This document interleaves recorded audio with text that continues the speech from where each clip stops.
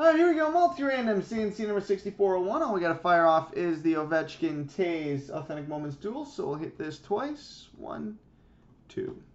The Hawks. So there we go, boys and girls.